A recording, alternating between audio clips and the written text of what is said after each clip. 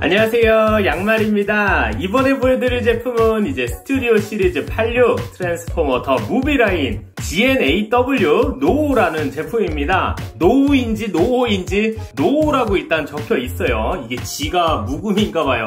아 영어는 진짜 많이 어려운 것 같습니다. 어쨌든 어, 일단 이 제품 같은 경우에는 최근에 옥션에서 할인을 했죠. 그래서 사실 구매 생각은 없다가 이제 또 할인에 살짝 빠져가지고 그래도 스튜디오 시리즈 86 라인이니까 한번 구매를 해보자 하고 구매한 그런 제품입니다 어, 지금부터 스튜디오 시리즈 86 트랜스포머 The Movie 라인 노 제품의 영상 리뷰를 시작하겠습니다. 어, 일단 이 제품의 부속품 같은 경우에는 이렇게 철퇴 같은 거 하나 잘 들어가 있어요.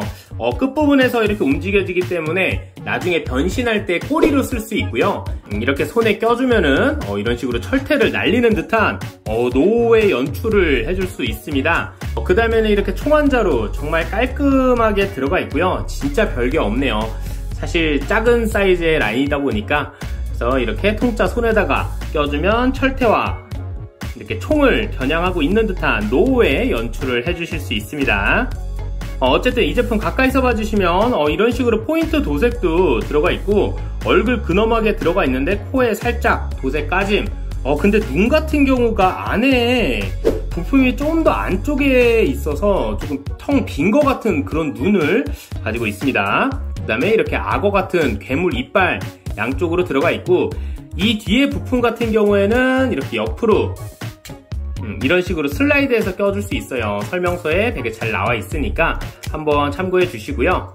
어, 그 다음에 이렇게 이 밑에도 포인트 도색들 잘 들어가 있고 와 이 조그만 제품에도 이렇게 가슴판에 mold가 정말 잘 들어가 있는데 옆에는 이렇게 등짐 어, 이렇게 샤크티콘 같은 그런 조형을 하고 있기 때문에 어, 이런 식으로 정말 잘 들어가 있습니다.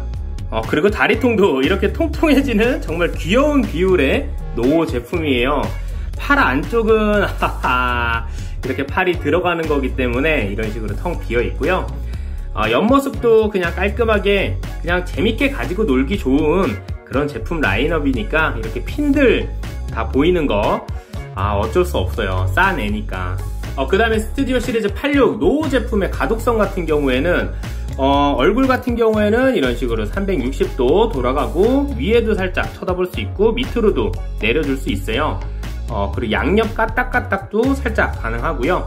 그 다음에 어깨는 이렇게 360도 돌아가고 어깨 이런 식으로 펴줄 수 있고 이두박근 있는 쪽에서 360도 그리고 팔꿈치에서 90도보다 조금 더 접히는 그런 각도 가지고 있습니다.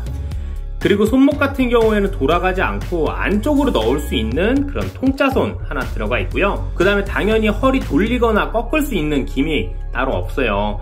그리고 고관절 같은 경우에는 앞으로 이 정도. 아 귀엽다.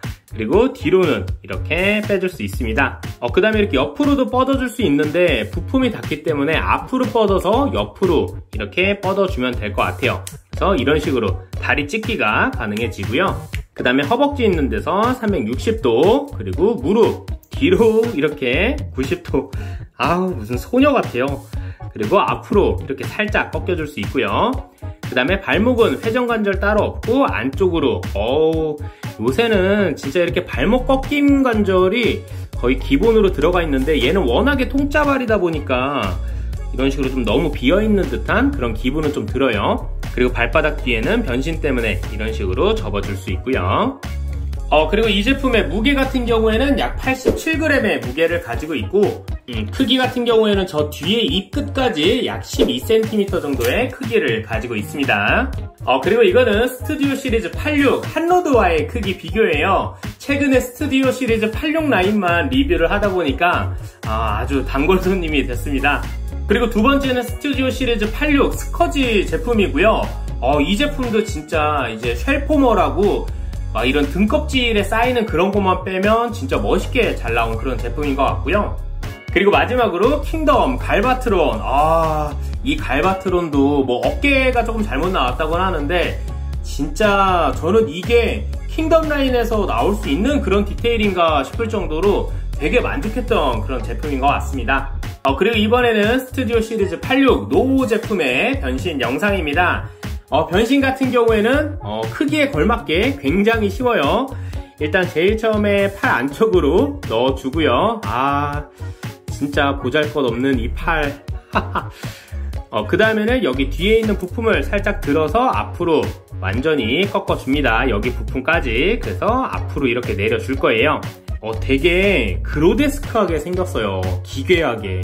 이 크기에 비해선 진짜 잘 표현해줬고 어, 그 다음에는 여기 앞가슴 부품 쪽을 이렇게 반바퀴 돌려주고요. 다리 같은 경우에는 발바닥 접고 여기 발목 접고 어, 그 다음에 여기 등에 있던 부품 이런 식으로 살짝 여기 힌지 이용해서 위로 올려줄 거고요.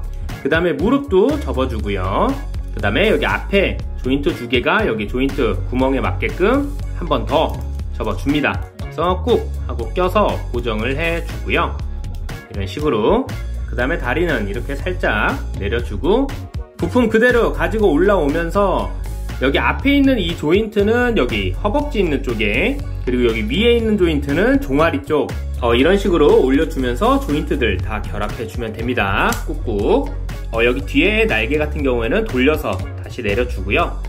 어, 팔 같은 경우에는 앞으로 이렇게 쭉 뻗어주고 여기도 앞쪽으로 쭉 이렇게 뻗어주고요. 다리는 살짝 무릎 접어서 이런 식으로 어, 지탱하게끔 해주고 어, 얼굴 같은 경우에는 이렇게 살짝 내려줄 수 있어요. 그래서 조금 더 이쁜 각도로 해주시면 되고 여기 안쪽에 로봇 모드 얼굴은 이렇게 밑으로 내려주면 되고요.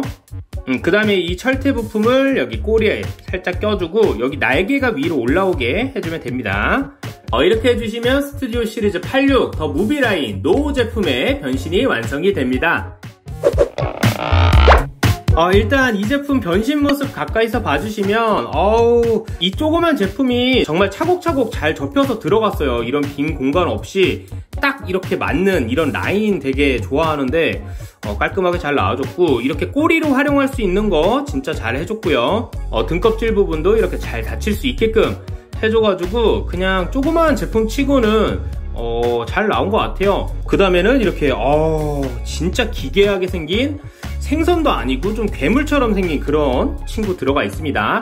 안쪽에 머리는 조금 혓바닥 같은 그런 효과를 낼 수 있게끔 해줬고 여기 팔 같은 경우에는 되게 빡빡하게 이렇게 360도 팔꿈치에서 이렇게 90도 정도로 접혀지는데 이 다리가 되는 부분이 되게 부드러워요 그래서 지탱하는데 조금 어려운 부분도 있어요 살짝만 누르면 그냥 푹 하고 꺼지기 때문에 뭐 바니쉬를 좀 발라주셔도 되고 아니면 그냥 이렇게 끝까지 내려서 이렇게 좀 개구리 같은 모습을 해주셔도 아 근데 너무 부드러운 거 아닌가 싶고.